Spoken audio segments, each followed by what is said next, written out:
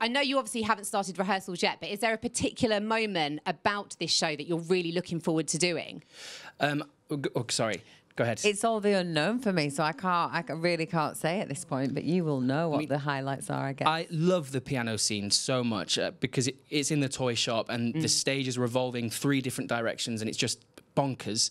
Um, but I also love You Slap Me r- Pretty Hard. and, and, And how does that feel, Kimberley? I mean, I think it's going to feel great. it's do you have really to shocking. practice that? Is it like a? I'm I gonna better get my pretend to slap technique you in the going, head, We've or- or we won't really be friends time. for very long.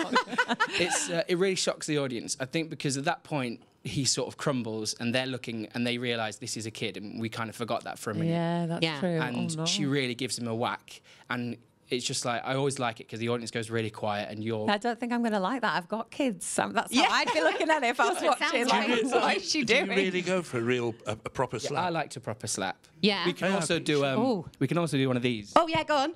I don't- Oh, that was good. that Well was done. right But I prefer a real one. I'll go for that. I think. I like a real one.